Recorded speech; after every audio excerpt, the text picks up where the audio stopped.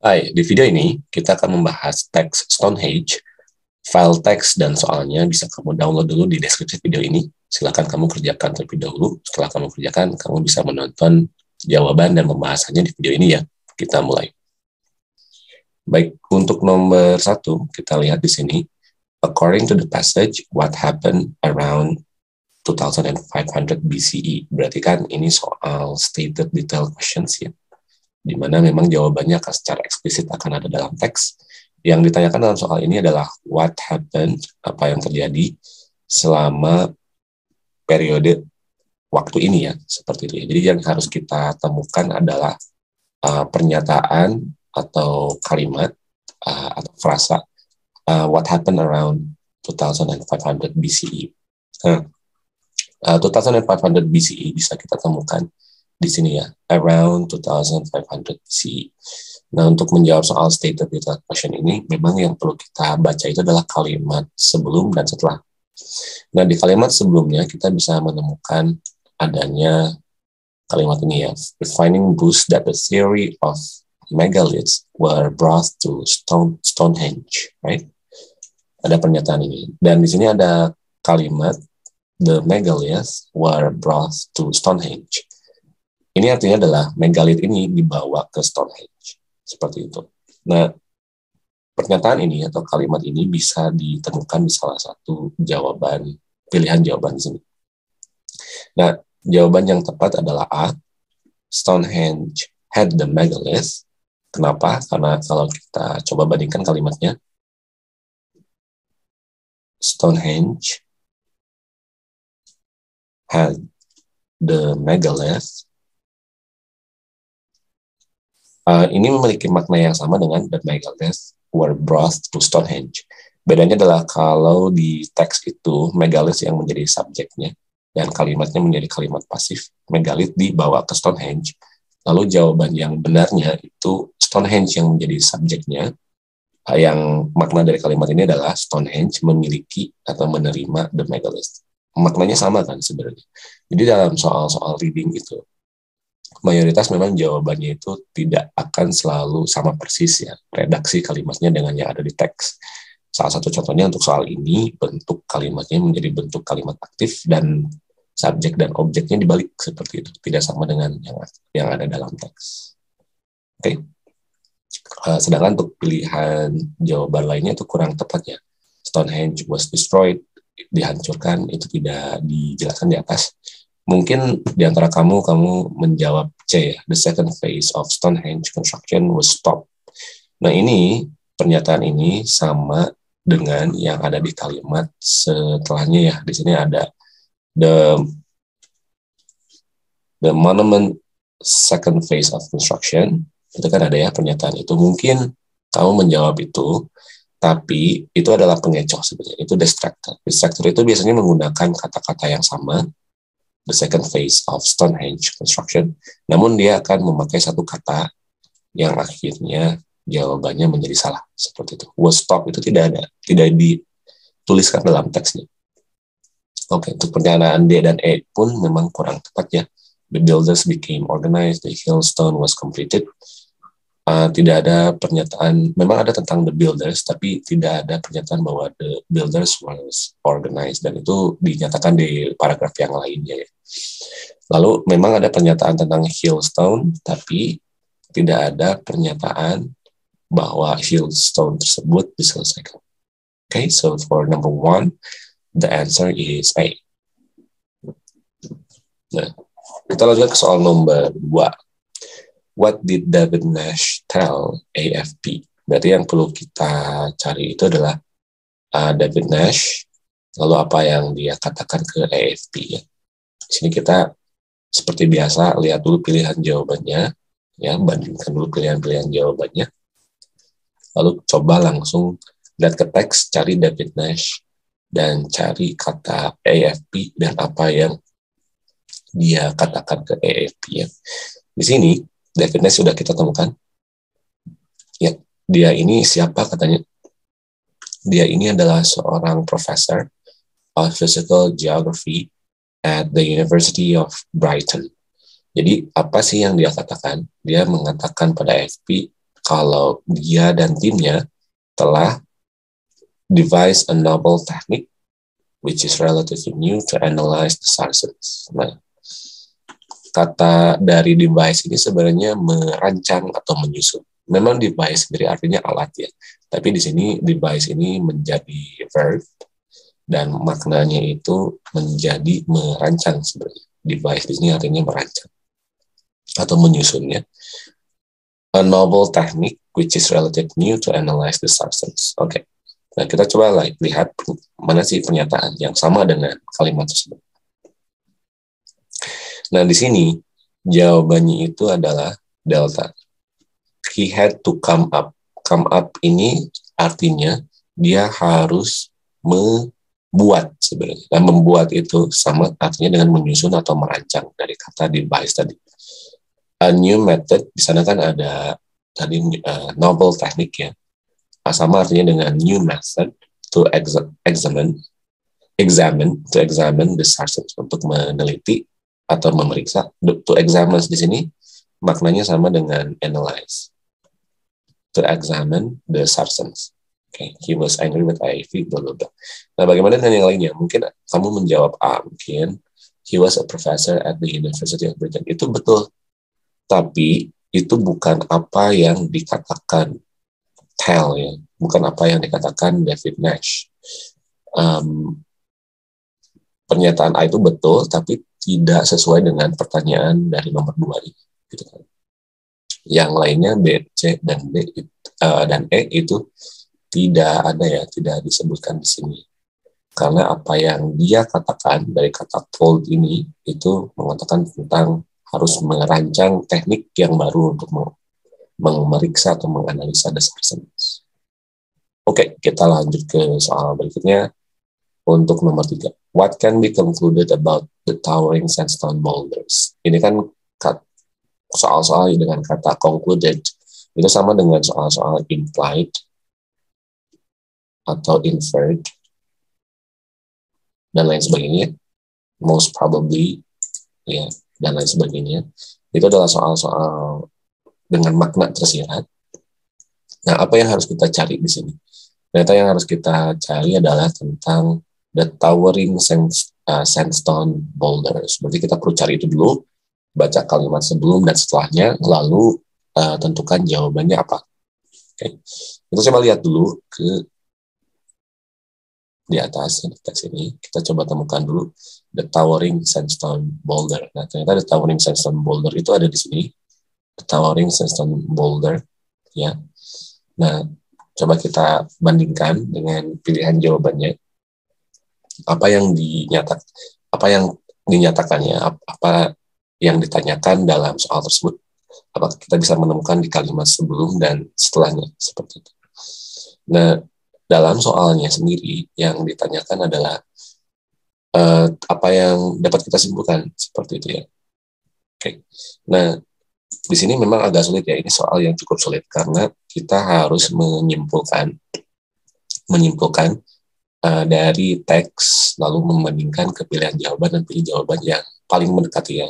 Soal-soal reading itu uh, akan terasa um, kita mencari pilihan yang sebenarnya enggak tidak terlalu akurat tapi kita memilih jawaban yang paling mendekati. Dan soal-soal reading itu akan selalu membuat kita ragu sebenarnya. Dan itu sangat wajar. Oleh karena itu kita harus menjawab sesuai dengan apa yang kita simpulkan pertama kali. Jadi don't overanalyze. So you need to answer directly uh, from the conclusion that you have made. Nah untuk towering sandstone boulders ini itu kita bisa melihat di kalimat sebelum dan setelahnya seperti biasa. Nah jawabannya sebenarnya ada di sini seem to share a common origin 25 kilometers away in Westwood. Jadi secara tersirat sebenarnya si sandstone boulders ini datangnya dari mana? Kan di sini ada pernyataan come from, ya. Dia itu datangnya dari Westwood, seperti itu. Dia datangnya dari Westwood. Nah, coba kita lihat pilihan jawabannya. Nah, di sini yang datang dari Westwood itu hanya yang, yang C saja ya they come from Westwood. Oke. Okay. Nah, sedangkan yang lainnya itu uh, mayoritas mungkin salah atau tidak dinyatakan di teks ya. Seperti itu ya. So, the answer is uh, the, the towering sandstone boulders itu uh, came from Westwood. Kita lanjut ke soal nomor 4. Soal nomor 4 itu tentang soal main idea. Seperti biasa, kalau main idea question ini, kita lihat uh, kalimat pertama di tiap paragrafnya ya. Oke. Okay. Yang di kalimat pertama di tiap paragraf tersebut dapat kita simpulkan. Okay. Kita coba baca dulu ya. So I'm going to erase this first. Right. Jadi kalau kita baca kalimat pertama tiap paragraf, Stonehenge, a Neolithic wonder in southern England, has backed historians Vex di sini artinya itu membingungkan atau menyulitkan historians atau uh, mengganggu ya atau membuat jengkel seperti itu. Kenapa membuat jengkel? Ya karena misteri-misterinya seperti itu. Itu arti dari vex. Right. Oke, okay, jadi sebenarnya ini tentang Stonehenge ya. Uh, Stonehenge itu asalnya dari Southern England katanya dan Stonehenge ini telah memusingkan para sejarawan dan arkeologi selama arkeologis selama berabad-abad dengan banyak misterinya yang seperti itu. Oke, okay. yang kalimat pertama paragraf kedua itu the finding boosts the theory that the megalith were brought to Stonehenge. Jadi ini memang tentang Stonehenge lagi, benang merahnya itu tentang Stonehenge ya. Kalau di sini Stonehenge-nya berasal dari England Lalu yang kedua Stonehenge-nya itu adalah uh, di paragraf kedua ini pernyataan bahwa Stonehenge ini katanya memiliki megalith ya pada tahun 2500.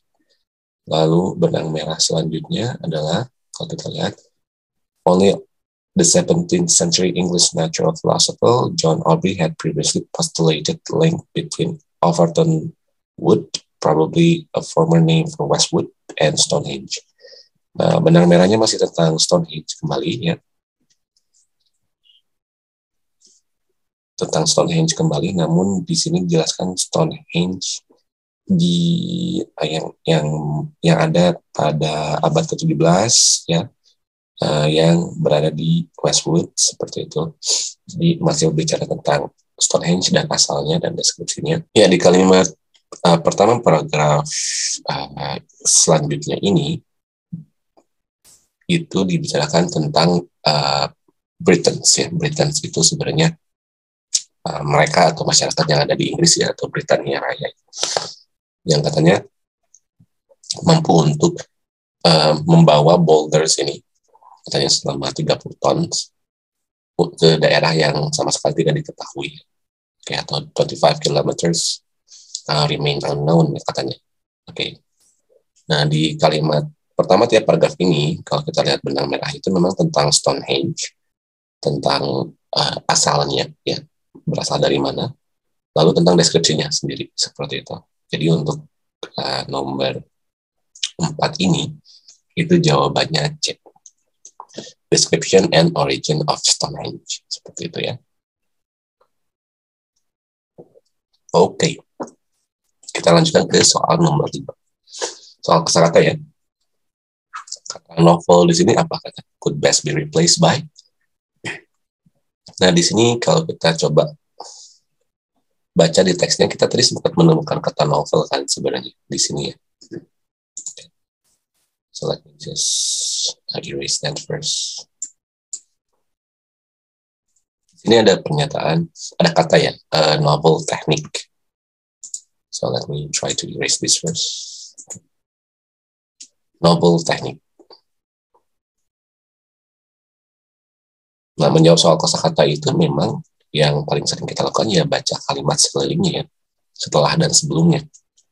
Dan biasanya uh, akan ada petunjuk nih, petunjuk kata dari yang ditanyakan di soal tersebut. Nah, di sini petunjuk yang bisa kita ambil adalah kalau kita lihat kalimat setelahnya, which is relatively new to analyze the Sarsens. Nah, kata new di sini sebenarnya itu bisa jadi petunjuk. Dan sebenarnya new itu memang arti dari kata novel. Karena kalau diterjemahkan a novel teknik ini adalah teknik yang baru seperti itu. Dan clue-nya bisa kita lihat di kalimat setelahnya dan kita bisa menemukan ada kata new di sana. Seperti itu. So uh, let's see the questions. Dan jawabannya itu A ya. New. Jadi new teknik atau novel teknik itu maknanya sama. Seperti itu ya.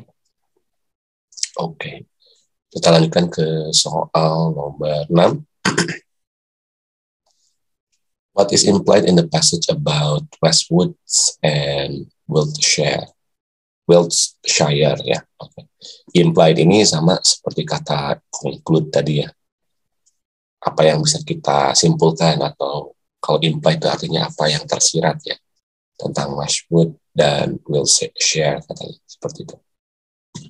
Nah, coba kita temukan dulu and Wiltshire itu di dalam teks ya. Kita coba temukan di dalam teks uh, Westwood and Wiltshire. So let me try to erase this first. Nah, di sini kita bisa temukan Westwood and Wiltshire, Wiltshire found to be the closest match. Katanya seperti itu. Ya, found to be the closest match. Nah, di sini kita bisa lihat bahwa si Westwood and Wilshire ini katanya di, ditemukan dan memiliki kecocokan yang sangat dekat, gitu kan. kecocokan yang sangat dekat. Itu makna dari uh, closest match. Nah, dari makna tersebut, kalau kita lihat pilihan jawabannya, kecocokan yang paling dekat itu uh, bisa kita lihat di pilihan jawabannya hanya diwakili oleh pilihan jawaban E. They were highly connected. Karena kecocokan yang sangat dekat itu maknanya sama dengan sangat berhubungan. Begitu ya. Walaupun memang terkesan seperti kurang akurat ya. Namun seperti yang saya tadi sudah jelaskan, soal-soal reading itu akan selalu membuat kita ragu. Karena memang that's the nature of a reading test. Gitu. Dan makanya tidak akan ada perasaan kalau kita tuh akan menemukan jawaban yang benar-benar uh, pasti ya karena it is not designed that way.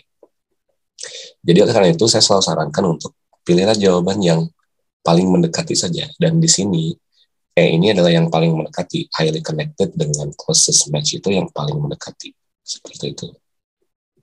Right. Sedangkan yang lainnya itu uh, kurang tepat ya kurang tepat. So the answer is E. Uh, let's go to number seven. What can be concluded about the two core samples from one of the stones? Sama ini soal uh, implied detail question juga atau soal reading dengan jawaban yang maknanya tersirat ya. Jadi apa yang bisa disimpulkan dari the two core samples for one of the stone. Jadi yang perlu kita cari itu the two core samples itu tadi. Two core samples from one of the stone. Oke, okay, nah kita coba uh, lihat dulu ke apa teksnya dan coba kita temukan uh, jawabannya yang mana ya. Okay, so let's try to find it on the text. Di sini kita bisa lihat bahwa two core samples bisa disebutkan di sini. Seperti biasa, baca kalimat sebelum dan setelahnya, terutama kalimat setelahnya ya. Uh, mayoritas jawabannya itu ada di kalimat setelahnya. Di kalimat setelahnya kita bisa baca. Jadi si two core sample from one of the stones ini katanya didapatkan selama uh, restorasi di tahun 1958. Tapi kemudian hilang, hilang sebelum muncul kembali pada tahun 2018 dan 2019 respectively. Respectively itu artinya secara berurutan. Jadi kalau misalnya di sini ada dua tahun, jadi si uh, two core samples ini akan muncul secara berurutan di tahun 2018 dan 2019. Seperti itu ya. Nah, kita coba lihat dulu di pilihan jawabannya.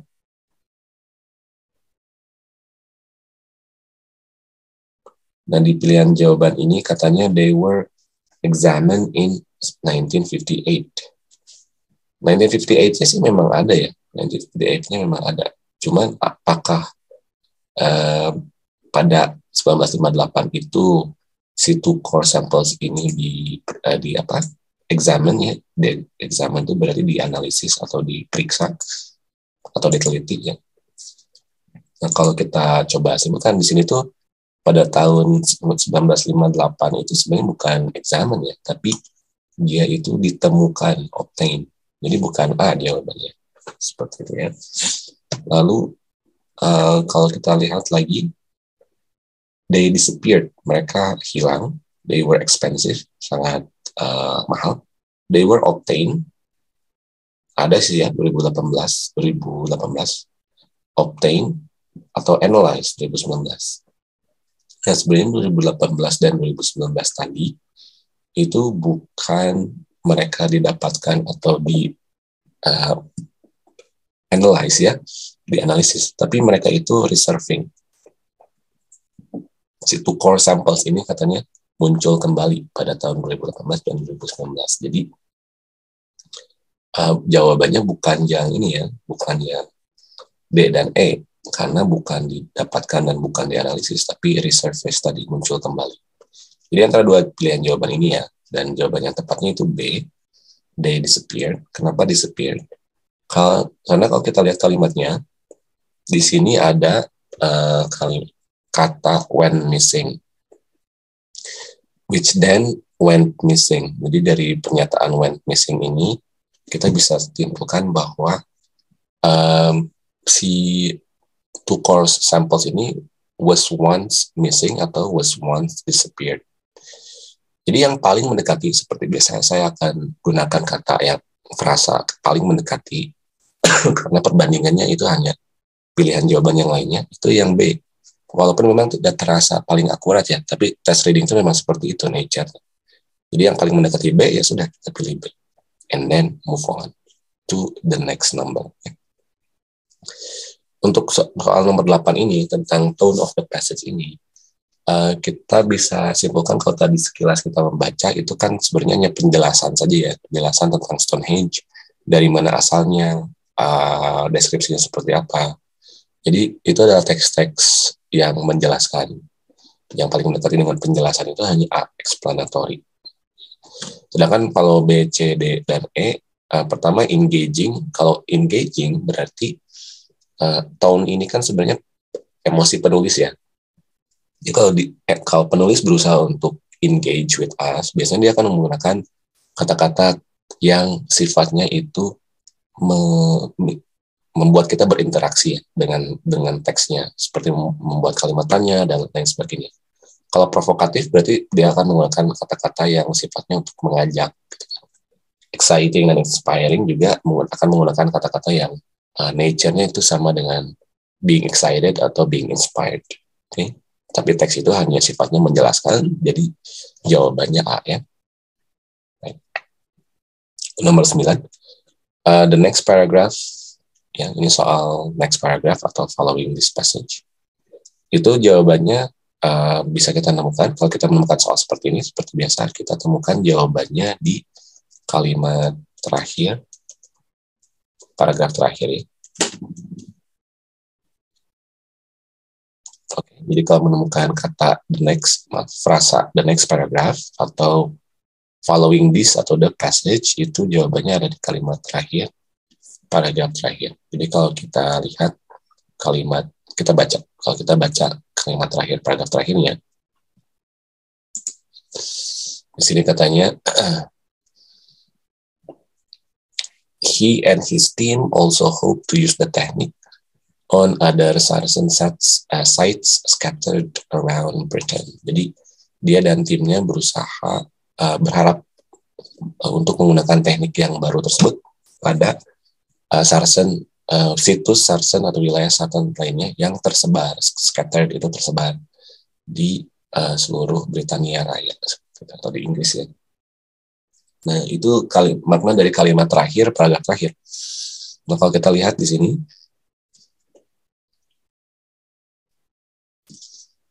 jawabannya itu B using the technique ya bukan of using the technique on other ancient Sarsen sites. Kan mereka sama ya menggunakan teknik tersebut pada situs atau wilayah Saracen uh, lainnya seperti itu.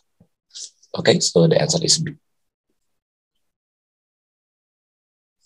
Uh, number 10, enormous. Nah, kita perlu cari dulu kata enormous itu di teks ya, lalu baca kalimat sekelilingnya uh, untuk mengetahui jawabannya apa. Okay, so we can see the word enormous here. Di sini enormous. Enormous and the war going on that time as it is a quite bigger band. Gitu kan. Nah, seperti biasa kalimat sebelumnya setelahnya itu, terutama kalimat setelahnya ya, akan memiliki uh, ciri atau petunjuk untuk uh, mengetahui arti dari enormous ini. Dan di kalimat setelahnya itu sebenarnya kita bisa uh, bisa temukan kata big big event ya. Nah big ini sebenarnya maknanya sama dengan enormous. Ya dan sekali lagi seperti soal kosakata sebelumnya juga kita ternyata bisa menemukan uh, kata atau ciri di kalimat setelahnya yang bisa kita gunakan untuk menyimpulkan arti dari kosakata yang ditanyakan dalam soal. Nah, kata enormous ini ternyata maknanya adalah big. Jadi kalau kita lihat nomor 10, jawabannya adalah big. Oke, okay. Seperti itu. Baik, uh, sekarang kita masuk ke soal kosakata kembali. Prevailing. Prevailing, kita perlu temukan dulu kata prevailing itu ada di teksnya Nah, di teks itu sendiri kata prevailing itu bisa kita temukan di sini ya. Okay, let me try to erase that first. Okay, ini kata prevailing di sini. Prevailing idea. Nah, coba lihat sekali lagi kalimat setelahnya. Central concept. Idea dengan konsep itu kan kurang lebih sama. Nah, berarti si central ini kemungkinan besar adalah arti dari kata prevailing ini sebenarnya. Central itu kan yang yang ada di tengah ya atau utama seperti itu. Jadi ide utama seperti itu ya atau konsep utama.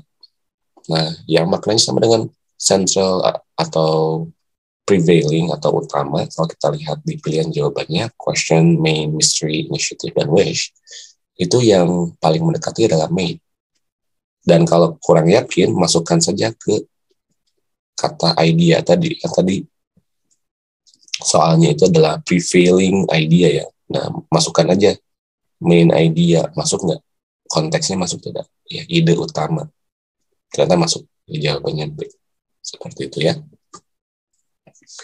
Oke, okay, kita lanjutkan soal nomor 12. Ini soal not true atau kalau di soal lainnya itu accept ya kecuali. Jadi memang kita harus bandingkan pilihan jawaban ya.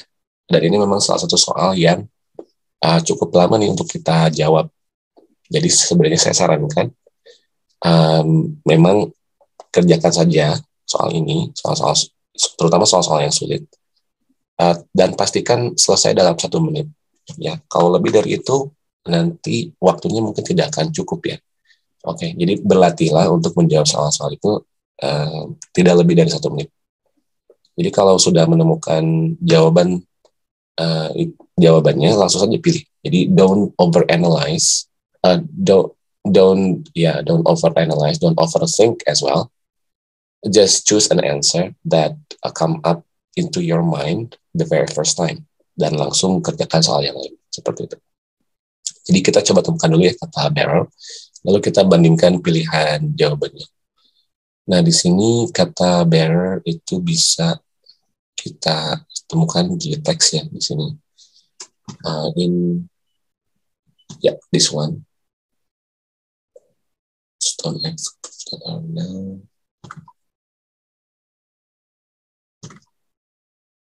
Ya, di sini ya. Nah, barrow ini apa katanya? a large circular net uh, artwork, ya. Yeah. Prehistoric cultivate, uh, cultivated fields, ya. Yeah. Nah, coba kita lihat dulu di teksnya ada tidak? Karena kita harus membandingkannya satu persatu. Uh, it was a large circular network, itu ada yang A, jadi kita coret dulu. It was a prehistoric cultivated field. Oke. Okay. Nah, tadi kalau tidak salah ada ya, yang waktu kita baca tadi. Itu berarti kita coret juga, karena ada juga di sana. Nah, coba kita, you know, just read is now, uh, it is now woodland. It is a burial site. It is a home to prehistoric animals. Kita coba lihat ada tidak dari ketiga uh, ketiga pilihan jawaban itu ya di atas. Uh, that are now in woodland itu ada katanya seperti itu. Jadi kita coret dulu, coret dulu woodland. It is a burial site. Ada tidak kira-kira? Burial, burial itu pemakaman. Jadi burial site itu uh, tapi ya pemakaman ya, tempat untuk memakamkan seperti itu. Oke. Okay. Uh, dan di sini ada kata a huge ancient burial site known as Barrow. Ya, ada juga katanya. Jadi yang tidak disebutkan atau not true itu hanya yang E ya. Answer is E. Okay, great. Terakhir soal kosakata, what can be concluded about I don't know how to pronounce this actually, so I'm going to not pronounce the word. Um, kayak jadi kata ini kita temukan dulu di teksnya. Ini ya, ada di sini. Lalu kalimat setelahnya. Dan kalau uh, kamu menonton di pembahasan saya tentang menjawab soal kata itu salah satu ciri menjawab soal kosakata itulah kalau kita menemukan tanda baca, ya kalimat setelah tanda baca itu jawabannya sebenarnya. Jadi di sini bisa kita baca nih, a rock used sharpen ancient stone axes, right?